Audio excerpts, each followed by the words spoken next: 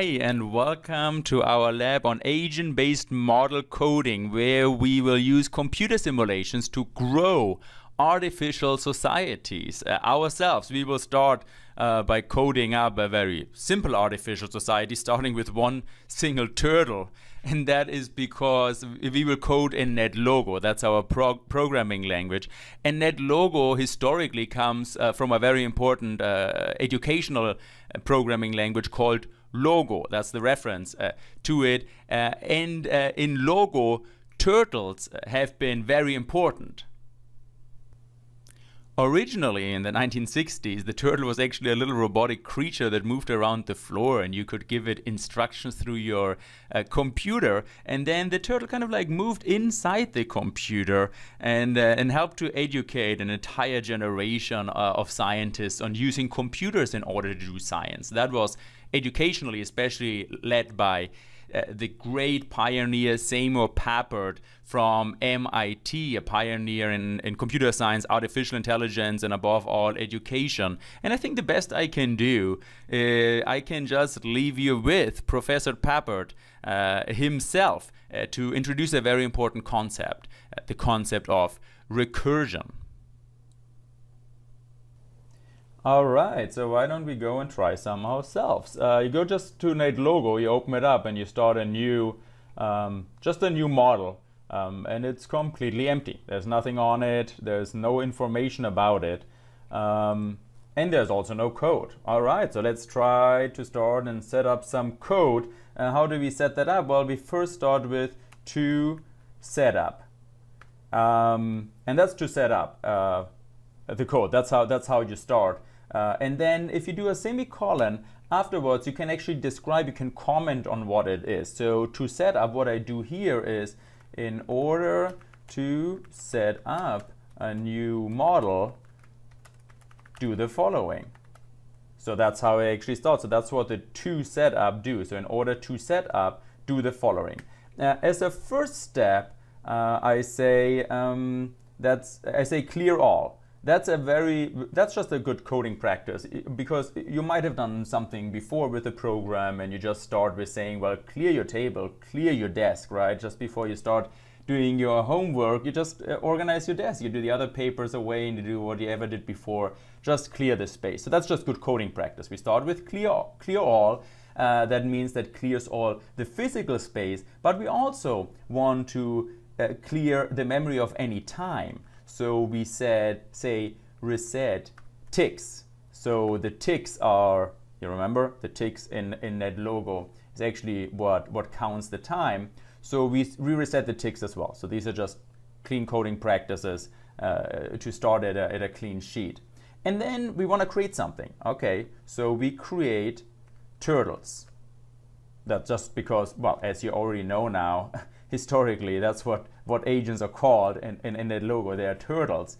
And uh, we create um, one, one turtle. And then we just, uh, well, let's end it. Let's end our program. If you type end, it will realize like, okay, that the to in order to set up, that's the end. So that's kind of like a bracket here between them. These are, these are in, intent, intended here. And um, it goes from two to the end. And that's now, it clears all, it says, resets the uh, ticks, to zero and it creates one turtle. Let's see what they do if you go in the interface. Oh, we don't have any button here to do anything. So let's create a button. Let's go to buttons here and you can create slider, controls, chooser, plots. We just want a button. Um, we want to create a button and now I get this cross here and I create a button. Let's create it right here. And we call this button setup. That's just what we call it and we press OK and now we have a setup button. And if we now press the setup button, it creates a triangle, a turtle. I think that's well in NetLogo, everything is a turtle. It's not really a turtle, it's just every agent is called a turtle. And we have a little triangle here. All right, uh, but I would really like to have a turtle. I want to go back to the roots. So let's see if we can give our turtle some characteristics. Um, so we have a turtle here. Let's, uh, let's put something else in our program before we get to the end. And we can ask the turtle to do something. Uh, so we ask the turtles to, and uh, now we put in here another bra bracket. Uh, and inside this bracket, you can see it goes, it, it, it, it scooches in uh, one more, and it has another sub subroutine here, another sub instruction here, and we say set turtles, uh, set shape, set shape, and set the shape to turtle.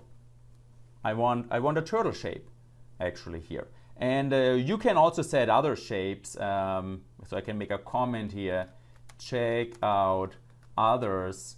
Uh, you can check them out under tools. So if you go here under tools, and there's a turtle shapes editor. Interesting, right? So here are all the different turtle shapes. You can have bugs, you can have boxes, airplanes, car, cows, happy faces, uh, persons, sheeps, trees, trucks, uh, and turtles. Here we are.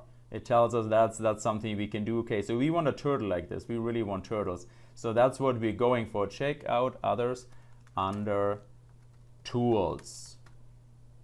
Turtle shape editor, I think it's called. Right? So what is it called? Turtle shape editor. Uh, so you can check out others, but we want we want turtles. And then we say set size to uh, let's say three, and set color to red. Also, well, try different colors uh, and see what you get get here. And uh, that's how we finish our routine. So I, I close this bracket. You see it recognizes like, okay, these two brackets go together. And here we go to the end of the routine. Let's see what this then does. We go to our interface and we press our setup again. Wow, here we have our turtle, a red turtle. And you can set it up every time. It sets it up in the middle of the screen and every time it sets it up a little bit differently. It randomly throws a turtle on the table. Well, well, congratulations, we created our first member of our artificial society. Why don't you go ahead and code this here up? Uh, follow, follow the instructions that I just did. You can open it on the side and uh, you code it up until here. Create a turtle, a red turtle. You can play around with different shapes and colors as well. And, uh, and then we continue. All right, so let's get our turtle moving a little bit. It seems pretty frustrated here, being dropped in the middle of the in the middle of the screen. So let's add another another routine here, and uh, that is not to set up, but to go. So I can as well uh, put a comment here. So everything that is behind the semicolon is not considered by NetLogo. That's just for us, for us humans. That's just a comment. Uh, in order to to go slash get moving, um, do the following. So this is just documentation that I put here. What do we do? Well, we ask the turtle, uh, we ask the turtles um, to do something. And this is quite literally, I don't even need to comment here anything. You understand what they're doing. Ask turtles to do something. What do we want it to do? Well, let's start a bracket. And let's don't have the turtle going around in, in kind of like a spiral deterministically because in social sciences, you know we don't we don't follow deterministic patterns when we move around or, or, or our behavior in general is not is not a deterministic algorithm uh, we have many reasons we actually even it's claimed that we have a free will to do whatever we want so it always varies a little bit but uh, there's some structure some some predictable structure as well so it's kind of like random uh, within some constraints. If we would want to model why a person exactly moves left or right, then you would have to model every neuron which is configured by genetics and every experience the person ever had, which then leads this person to make a right or left turn. And that, well, since we don't model that, what we do is we just take a broad brush and we say, well, I don't know, 60% uh, the person turns right or left. That's just what we observe in this situation. And that's then uh, how we abstract from the details of how a person take, makes a decision. So let's basically then let's flip a coin, right? Let's let's uh, uh, let's uh, abstract from that and summarize all these intricate uh, decisions with a coin flip.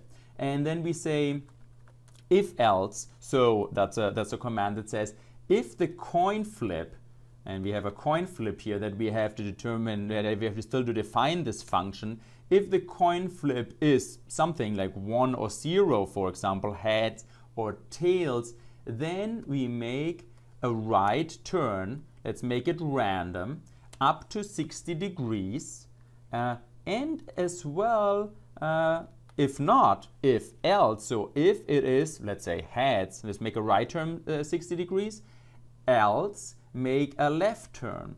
Um, turn turn randomly up to up to 60 60 degrees. So let me comment that. Let me describe what I just did here. If the coin flip is let's say true, for example, if it's zero or one for that matter, doesn't, it doesn't really matter because a, a coin is binary, um, uh, then turn right up to 60 degrees. Otherwise, and else, um, left up to 60 degrees. All right, so, so we do that. Um, and then let's say, let's go forward. Same as we saw in the original code.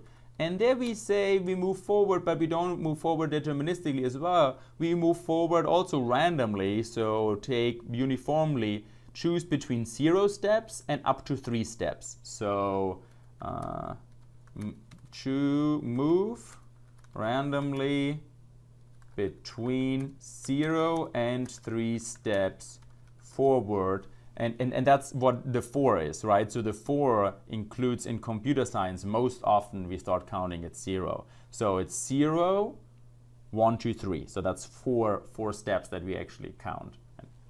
Um, and then we end this routine. So we turn up to 60 degrees, left or right randomly, and then we want to add uh, a tick, a time tick. We also have to tell that the program will add one unit of time um, add one unit of time to our counter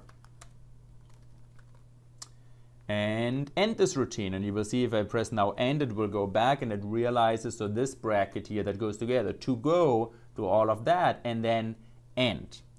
Now we still have to specify this function here, the coin flip function uh, because it doesn't it doesn't know what to do. If we would try to do it here, it says, well, there's something called coin flip. It doesn't even allow us to get out of here. Nothing named coin flip has be, been defined. I just said coin flip and NetLogo doesn't really know what coin flip is. So I have to specify the function at the end. Often when you write code, you kind of like put all these functions at the end. That's uh, kind of like your footnotes uh, where you then uh, refer to. So you don't want to put all of this code in here. So you want to have it readable and you define your function below. So to report coin flip, what do we do?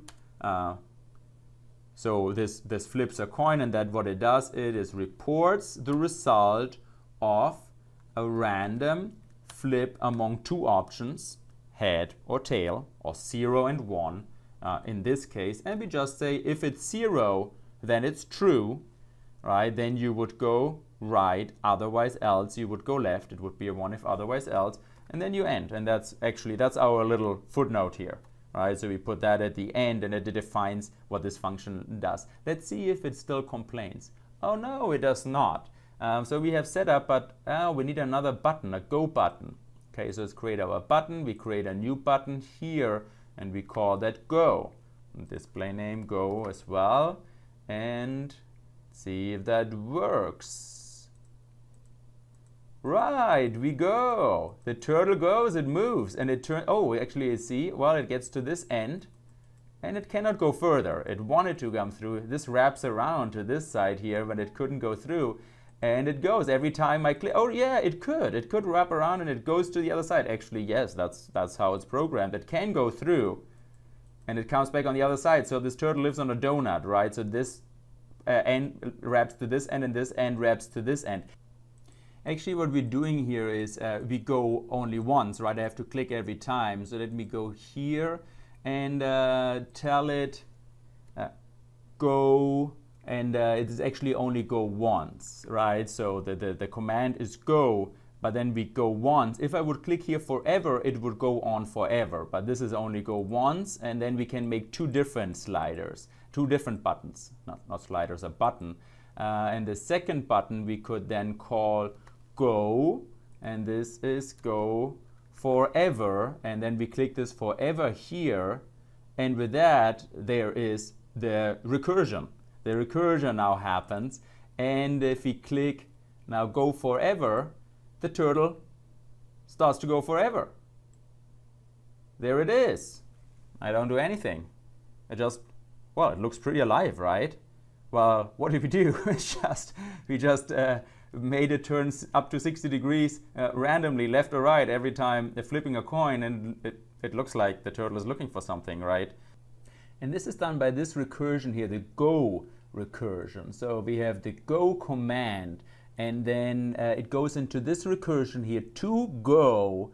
Uh, it goes here until it, it adds another tick, and then it runs forever this loop here basically, this recursion. So it goes to go and then it asks the turtle to flip a coin. What is flip a coin? It does this here. It turns randomly left or right and then it goes forward randomly up to up to three steps or it stays put and then it adds another tick. So, and that's actually what it is, right? So often behavior, also human behavior, we do slight variations of the same thing uh, and this recursive behavior then, well, in the recursion in the algorithm, there's actually our behavior. It unfolds and the slight variations uh, lead to something that actually, yes, like from the outside, yeah, you would say, well, I don't know if this little turtle has has a will or something. It it certainly looks like it's it's doing something.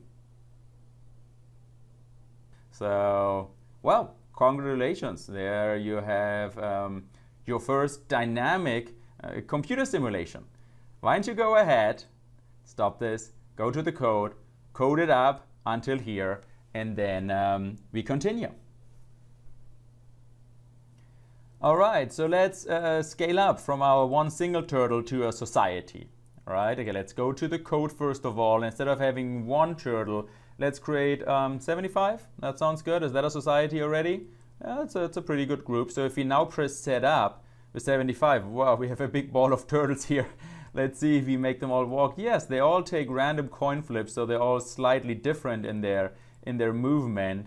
And we can see, oh yeah, right, that's an entire turtle zoo that one after the other updates and well randomly walks around here. So let's, we can also, instead of having them start all in this little uh, hairball here, we can set them up on, on, on different x, y coordinates, right? So when we have our turtles here, uh, our 75 turtles, let's say, create 75 turtles. So give some description here so we don't forget later, but it's really like in, in NetLogo you don't even need the comment line in other programming languages, but this is like create turtle 75. I think I think it's understandable what that does, right? Okay, let's we said we have our 75, let's spread them around uh, randomly. So we could have another command here and we say set xy, so that's the xy coordinates, random x core, so it's a random x coordinate and a random y coordinate. And we close that so it, it realizes that's the bracket here. Uh, can also make that next line we say that okay we, we, we give here a characteristic and we set random x and y coordinates and what that basically does then is let's just comment here is we spread the turtles on random x and y coordinates. That's what we want to do. So they're all not in the hairball, right? So we set them up and that's, oh yes, now you can see. They're all spread out here. I'm gonna do that again. And now if we go once, yes, they already start, start spread out all over our coordinate system, our XY coordinate system. Now let's also give them some behavior, not only moving around, but some behavior, some something they they can do. Now I'm in the department of communication, so I'd love to give them some messages. And I give the turtle a trait, so that's a, a, a, trait that they get right from the beginning. That's why I put up here. So for example, up here we can make a list of characteristics or traits, uh, attributes that turtles have. And uh, in, in logo language, that's uh, it said that was the turtle's own. So the turtle's own message? Uh, well, question mark. Does the turtle own a message? Uh, I don't know. So in order to describe that here, say true or false. Does a turtle own a message? Well, does the turtle have a message? I don't know. We want to have a communication process. So some, let's say some turtles have messages, some per, uh, uh, turtles don't. And let's say they communicate messages. We start by defining that nobody has a message, right? So let's go here to our characteristics, our 75 turtles. We tell the turtles that set message, question mark, false. That basically what that means like nobody has a message. We create the 75 and nobody has a message. So so right now i'm just what i did with these two lines of code is exactly the same. The end effect is the same. We gave them messages we said they could have messages but nobody has a message. So we are as as before. But let's give uh, one of them a message right? So we go maybe back here. So we create our messages. Okay we, we say nobody has a message. We throw them randomly on it we ask the turtles to have a certain shape and then maybe a good place it's often it's a it's your choice where you want to give it the instruction sometimes it matters the order sometimes it doesn't. But here let's put that at the end and then we ask one of turtles to set the message to true. So one of them if I, I think that already was like plain English but I can be a little bit more direct even give one of the turtles a message.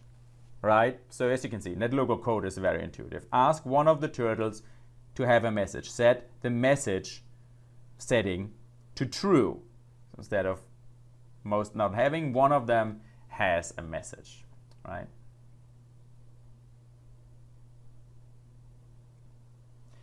Then let's bring some communication dynamic in it. So you could go here and then so one has the message. Then we ask our turtle to move.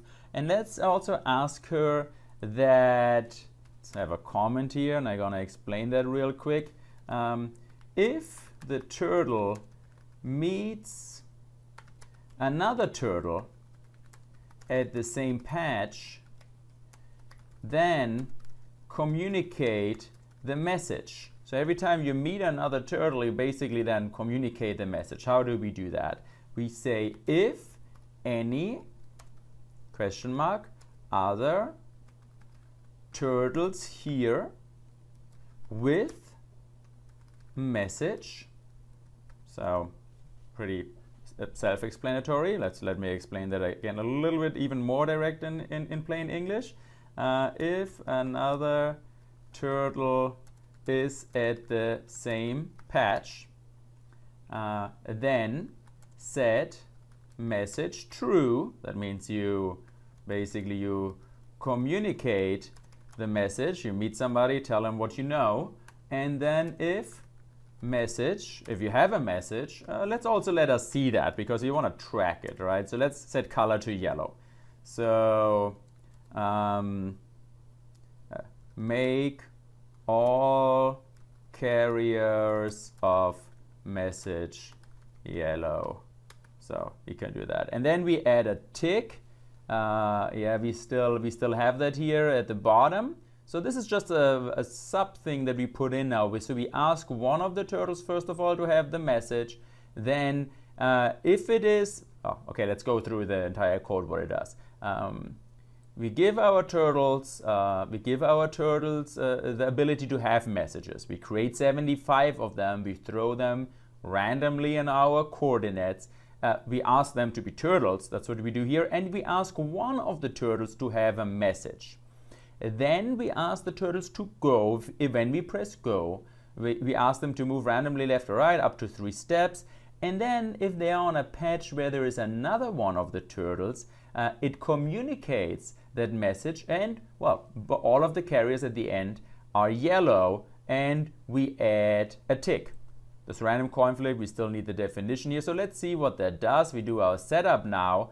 Um, and if we go once we see like oh yes after we go once at the beginning no but after we go once because this is in the go command our message we put it here in our go command nobody has it. And if we go once one turtle has a one turtle has a message. This one is yellow now and if we keep on going, we go once and let's see when is the first communication happening. It doesn't meet anybody. Nothing happens here. Um, yes, they're, they're communicated uh, something.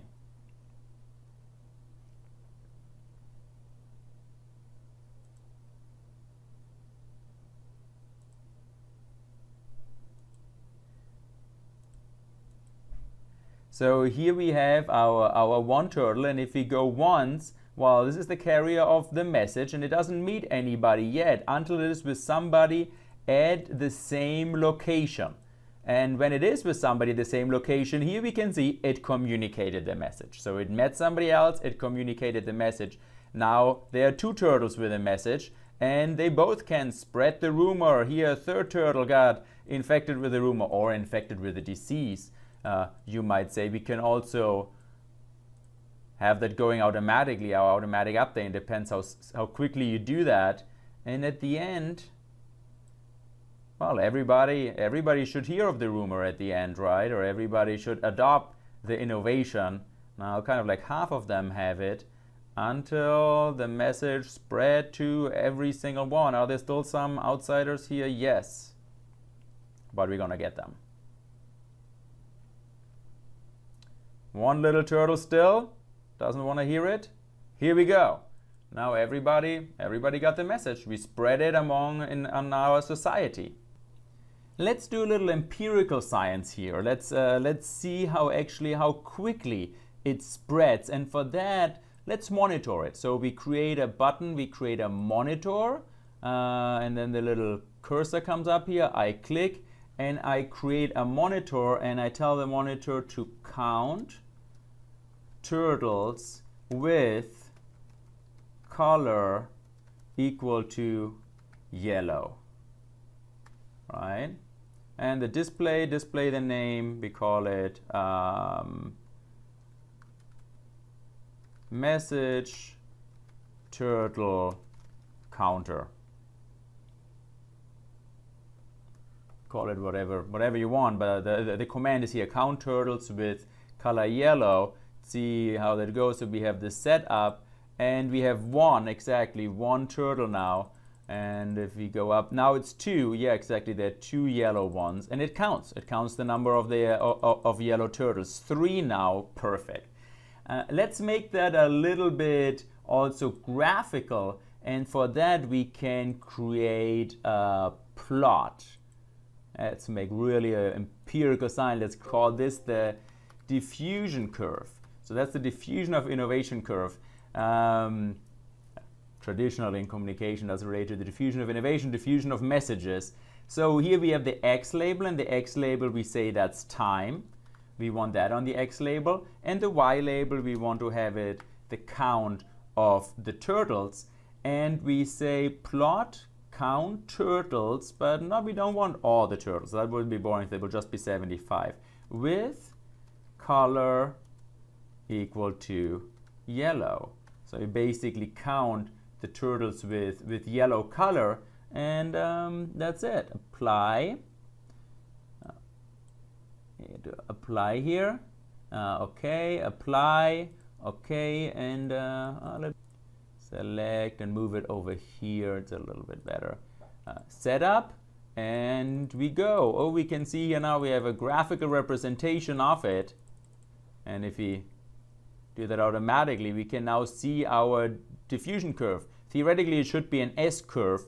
Uh, not many people are infected. Then we have a phase transition here. Many, many uh, turtles uh, get the message, and at the end there will be a saturation effect because we cannot have more than 75 turtles affected, infected or more than 75 turtles with a message because we only have 75 turtles. So that's the typical S-shaped diffusion curve here. Now we got to 75 why don't you go ahead and code all of this up um, and play around with it a little bit. Uh, adjust also some settings and well, congratulations, congratulations on creating uh, your first artificial society, of growing your first artificial society uh, from the bottom up, a turtle society, which is, as you now know, well justified by historical precedents. Congratulations.